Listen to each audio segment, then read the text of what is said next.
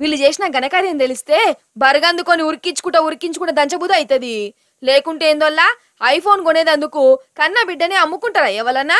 కానీ వీళ్ళు గట్లనే చేసిర్రు. అరే అవునంటే బెంగాల్లా ఇగో గియాలు మొగలు ఉంటారు. వీళ్ళకు ఏడేళ్ళ బిడ్డ ఎనిమిది నెలల సంటి పోరాడు.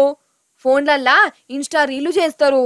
ఈ నడమ మీరు కూడా చూస్తుర్రు కదా ఒక్కొక్కరు ఈ రీళ్ళ కోసం ఎంత తన్నాడుతుర్రు. అయితే వీడియో మంచిగా కనబడాలంటే ఐఫోన్ కొనాలే.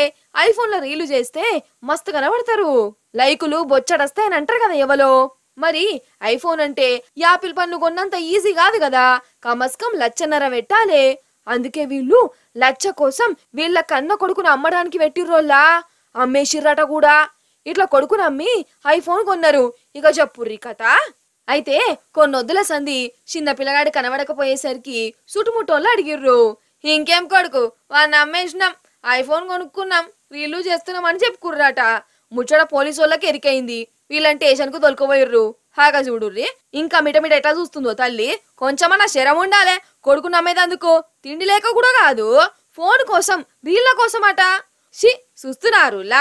కలికాలం యుగాంతం దగ్గర పడిందంటే గిరే కావచ్చు. షి